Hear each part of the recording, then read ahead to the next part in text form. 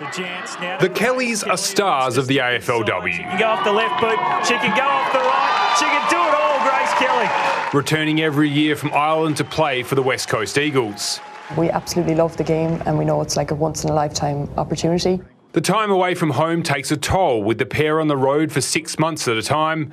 And after two years dealing with COVID 19, there was some hesitation about returning to Australia and leaving family behind. The biggest obstacle really coming out was yeah, trying to get our, both of our boyfriends out um, and yeah, just you know saying goodbye to family. West Coast will be pleased the pair decided to return. And they should be able to finish that, and they do. It's Niamh Kelly who adds the finishing touches. Not just for what they can do on the field, but also for what they offer to a squad not used to spending months on the road. The Eagles and Fremantle are on the East Coast indefinitely, following the decision not to reopen the WA border on February 5. A few of the girls have come up to us already, like, what did you do during quarantine? It's great that we can give that advice out, especially to the younger girls who may not have left home for three weeks yeah. ever.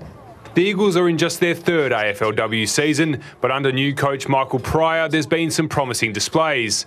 They matched the Dockers in the season opening Western Derby and should have beaten Gold Coast. The likes of Freo and these teams who've been in the competition for a very long time, we know that we need to get to the, the standard that they're at. The Eagles have a way to go to be a competition powerhouse, but everything is pointing in the right direction. Tom Wildie, ABC News.